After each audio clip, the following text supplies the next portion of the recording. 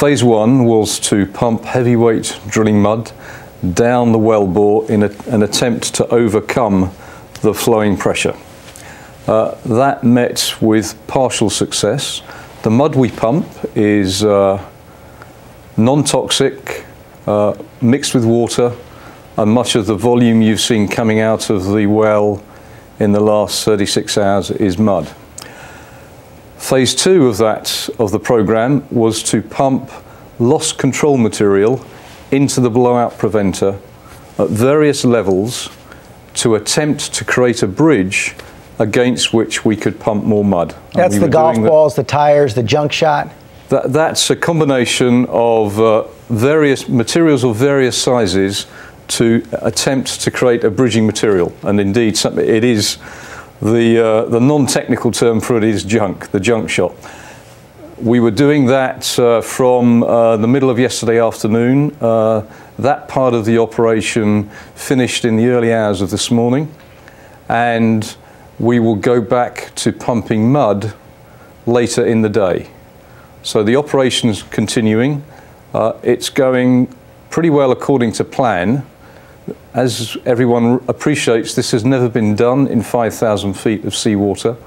So we've proven the technology and we are learning about how to optimize the technology and we're learning about the condition of the well and what it's going to take to kill the well. You say so, it's going pretty much according to plan. When will we know for sure if it's working and when would you expect that the leak would be plugged? I think it's um, probably at least another 48 hours away before we could have confidence that we've succeeded. Uh, we've said all along that we rated this at 60 to 70 percent. That has not changed. You know, over the course of this crisis, we're learning a lot more about BP's record. Our own Pierre Thomas reported last night that the Occupational Safety and Health Administration records showed that in the last three years, BP ran up 760 egregious willful safety violations at their U.S. refineries. This dwarfed uh, violations from other oil companies. Sunoco and ConocoPhillips had eight each. Citgo had two. Exxon had one. How do you explain such a horrendous safety record?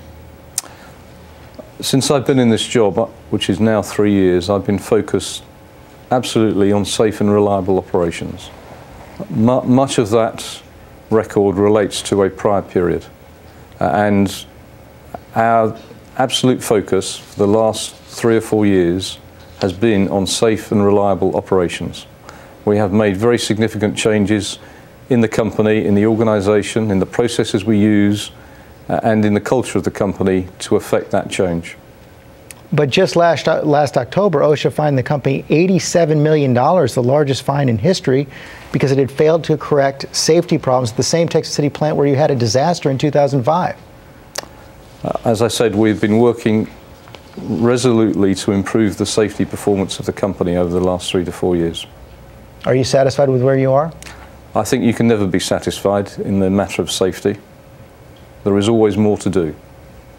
Okay, Mr. Hayward, thanks very much for your time this morning. Thank you.